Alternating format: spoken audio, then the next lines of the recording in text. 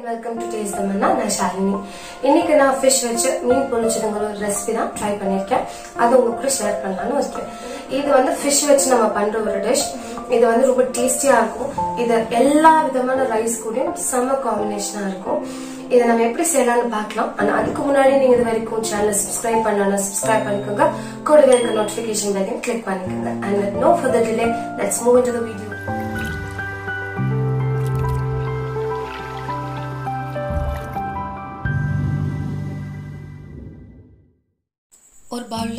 ஒரு ரெண்டு ஸ்பூன் அளவுக்கு மிளகாத்தூள் சேர்த்துருக்கேன். இனி இது ஈக்குவலைஸ் பண்ணுற மாதிரி மல்லித்தூள் அதே அளவுக்கு நான் சேர்க்குறேன்.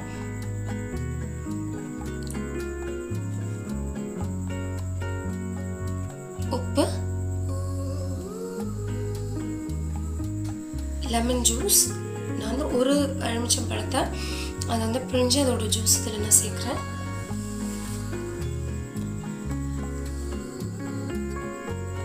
யூஸ்வலாக வந்து நம்ம அந்த லெமன் ஜூஸ்லாம் போட்டு மேரினேட் பண்ணுறோம் அப்படின்னா ஒரு செராமிக் பவுல்லையோ இல்லைன்னா ஒரு கிளாஸ் பவுல்லையோ பண்ணுறது கொஞ்சம் ஹெல்த் வைஸ் நல்லது. ஸோ இதெல்லாம் நல்லா மிக்ஸ் பண்ணிக்கலாம். உங்களுக்கு ரொம்ப ட்ரையாக இருக்கிற மாதிரி தெரிஞ்சிச்சுனாக்க கொஞ்சம் தண்ணி தெளித்து மிக்ஸ் பண்ணிக்கலாம். ஒரு பேஸ்ட் மாதிரி இருக்கணும் திக்கான பேஸ்ட் மாதிரி இருக்கணும். பாருங்கள் இப்போது இந்த ஸ்டேஜில் இதை வந்து ஃபிஷ்ஷை வந்து நான் கீரல் போட்டு வாங்கியிருக்கேன். ஸோ அதே மாதிரி நீங்களும் வாங்கிக்கோங்க. வாங்கிட்டு அந்த ஃபிஷ்ஷில் வந்து நல்லா க்ளீன் பண்ணதுக்கப்புறமா அதை அந்த கீரலில் அந்த உள்ள ரீஜன்ஸில் எல்லாத்துலேயுமே இந்த மசாலா படுற மாதிரி நல்லா கோட் பண்ணி விடணும். அது அட்லீஸ்ட் ஒரு ஹாஃப் அன் ஹவர் அந்த மாதிரி மேரினேட் ஆகட்டும். இப்போ ஹாஃப் அன் ஹவர் ஆகிடுச்சு கொஞ்சமாக ஒரு வருஷத்தில் எண்ணெய் ஊற்றிட்டு அந்த மீனை பொரிச்சு எடுத்துக்கலாம். இது வந்து ஷாலோ ஃப்ரை தான் பண்ணணும். ஏன்னா இதுக்கப்புறமும் நம்ம ஃபிஷ்ஷை குக் பண்ண போகிறோம் அதனால இது ஷாலோ ஃப்ரை பண்ணால் போதும். ரொம்ப டீப் ஃப்ரை பண்ணாதீங்க. எண்ணெய் அதிகமாக செலவும் பண்ணாதீங்க. இப்போ ஃபிஷ்ஷோட ரெண்டு பக்கத்தையும் நல்லா ஆயிலில் போட்டு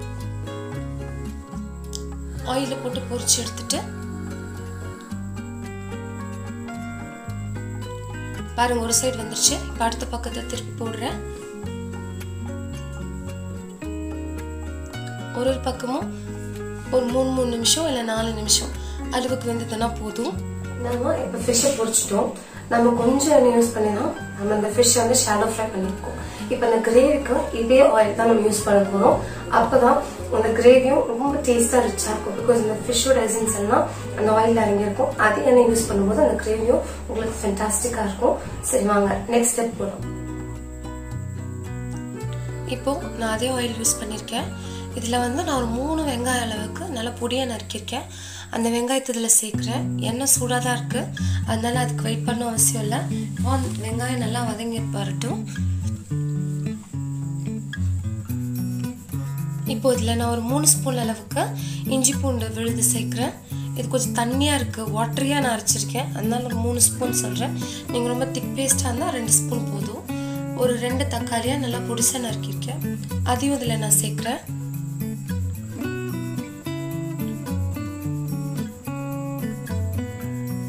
இந்த தக்காளியும் இஞ்சி பூண்டு பேஸ்ட்டும் நல்லா வதங்கணும். இதில் இருக்க பச்சை வாசனை எல்லாம் போகணும். பாருங்கள் நல்லா மேஷியாக குக் ஆகிடுச்சு இப்போ இந்த ஸ்டேஜில் நமக்கு தேவையான மசாலா எல்லாம் சேர்த்தோம்னா போதும். மிளகாத்தூள். ஞாபகம் இருக்கட்டும் ஃபிஷ்க்கே ஆல்ரெடி நம்ம மிளகாத்தூள் போட்டிருக்கோம். ஸோ இது இந்த மசாலாக்கு எவ்வளோ தேவையோ அது போட்டிங்கன்னா போதும். நெக்ஸ்ட்டு ஒரு ஸ்பூன் அளவுக்கு சீரகத்தூள். மல்லி தூள் வந்து ஒரு ரெண்டு ஸ்பூன் அளவுக்கு சேர்க்குறேன். கரம் மசாலா முக்கால் ஸ்பூன். இதெல்லாம் சேர்த்து நல்லா அந்த பச்சை வாசனை போகிற வரைக்கும் நல்லா வதக்கி எடுத்துக்கோங்க.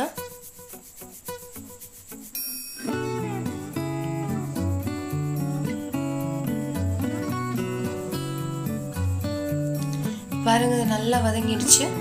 இப்போது இந்த ஸ்டேஜில் நான் வந்து தேங்காய் பால் ஒரு அரை மூடி தேங்காவை நல்லா துருவி அதுலேருந்து பால் எடுத்து அது இதில் நான் சேர்க்குறேன். இப்போ இந்த கிரேவி வந்து கொதிச்சுட்டு இருக்கும் போதே நம்ம வாழை இலையை நல்லா வாஷ் பண்ணி அந்த பாத்திரத்துக்கு மேலே வச்சோம் அப்படின்னாக்கா அந்த வாழை இலையில வந்து நல்லா வாட்டின மாதிரி ஆகிடும் அதில் ஏதாவது வந்து பூச்சியோ ஏதாவது ஒன்று இருந்ததுனாலும் அது வந்து அந்த ஹீட்டில் டிஸ்ட்ராய் ஆகிடும் ஸோ மைக்ரோப்ஸ் என்ன இருந்தாலும் டிஸ்ட்ராய் ஆகிடும் ஏன்னா நம்ம வாஷ் பண்ணும்போது அந்த பூச்சியெல்லாம் கழுவிட்டுருவோம் இந்த இதை வந்து ஸ்டெர்லைஸ் பண்ணுற மாதிரி தான் இப்போ முன் மேலே கீழே ரெண்டு பக்கமும் வாட்டி எடுத்ததுக்கப்புறமா நம்ம அந்த இலை மேலே அந்த உள் பாகத்தில் நம்ம சாப்பாடு போடுவோம் இல்லையா அந்த இடத்துல ஃபஸ்ட்டு ஒரு லேயர் ஆஃப் இந்த மசாலாவை அப்ளை பண்ணணும். இப்போது அது மேலே ஃபிஷ் வச்சுட்டு இந்த ஃபிஷ் மேலேயும் இந்த மசாலாவை கோட் பண்ணிவிட்டு இந்த இலையை ரேப் பண்ணி வச்சுக்கலாம். இது வந்து ஒரு சாண்ட்விச் மாதிரி நம்ம வைக்க போகிறோம் ஸோ ஃபுல்லாக முடிஞ்ச வரைக்கும் எவ்வளோ மசாலா வச்சு இந்த ஃபிஷ்ஷை கோட் பண்ண முடியுமோ அந்த மாதிரி கோட் பண்ணிக்கோங்க. இப்போது நீட்டாக இந்த வாழை இலையில வச்சு நம்ம ரேப் பண்ண போகிறோம் அந்த வாழை இலையிலலாம் சுருட்டி அந்த வாழை இலையில இருக்கிற நார் அதை வச்சு கட்டி நம்ம பேனில் இதை அப்படியே வச்சுட்டு நம்ம ஒரு மூடி போட்டு ஒரு ஃபிஃப்டீன் மினிட்ஸ் குக் பண்ணோன்னா போதும். இதுக்கெல்லாம் நம்ம வந்து ஆயிலெல்லாம் சேர்க்கணும்னு அவசியம் கிடையாது.